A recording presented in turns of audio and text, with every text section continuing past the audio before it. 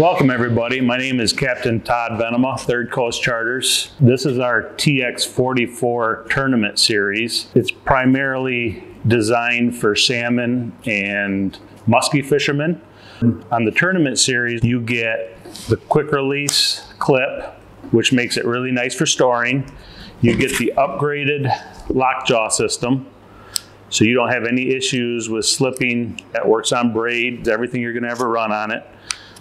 And it also comes with an upgraded stainless steel pin on the back.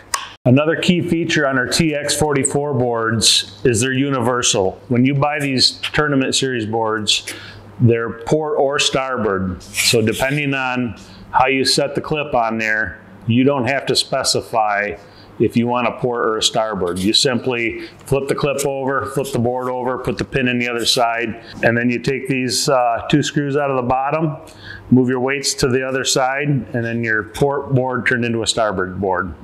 Starting last season, I just started running these TX44s on all my long lines. They just plane out a lot nicer. They stay in line. They're really easy to read when you're running all the same boards on each side. So whether I'm running a 100 copper or a four color, a lead, or whether I'm running, you know, a 450 copper, I tend to stick with the larger boards.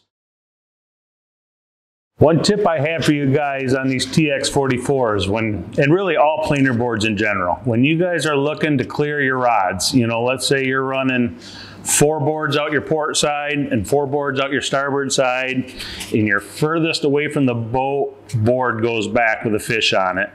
How do you get that board cleared from all the rest of your lines? If that board went back on the port side, I'll grab the rod out of the rod holder and I will bring it to the starboard side, the opposite side of the boat, and I will put that rod tip right down in the water and wait a couple of seconds for that that board to drop back. As soon as you put that rod tip in the water, that board's going to fall back out of line and go work its way to the center of the boat and then I start reeling and I just keep that keep that rod tip pointed in the opposite direction and that'll keep you from any tangles or mishaps that you might have.